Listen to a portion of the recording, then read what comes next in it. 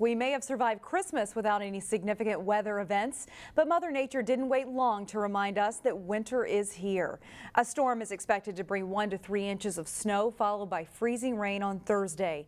Reporter Eric Nelson explains how crews in Plymouth are getting ready. We are ready. Yeah, we're, we're ready ready for the snow, and uh, we've had a couple of uh, full callouts already, uh, so um, we're, we're ready to go. It's been a busy day at the Plymouth Public Works Department.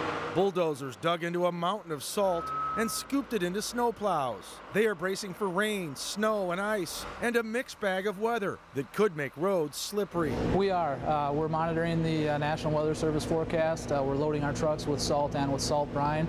A fleet of 18 trucks and other heavy heavy equipment spent the morning getting mobilized to combat whatever comes down from the sky. We want to make sure that if, if like the forecast said, we get that two to four overnight, that we're on it before the rush hour traffic packs it to the roadway. If snow totals exceed two inches, Plymouth plow operators will spring into action and clear 320 miles of city streets, cul-de-sacs, and trails. Our number one goal is, is to provide a high level of service to our residents. The plow drivers use brine, which is a combination of salt and water. They apply this solution to the road before it snows, which causes the initial snow to melt. It's also better for the earth. Uh, salt is a tool that we use to try to, you know, melt the snow and, and maintain a safe roadway, but we do try to be, you know, conscious of the environment and, and try to use as little as possible. Regardless of what happens, Plymouth Streets and Utilities Manager Joe Paumen won't be fazed. Paumen just started his job last spring when he was greeted by that epic April blizzard. It was a great uh, two to three day short course on snow plowing and uh,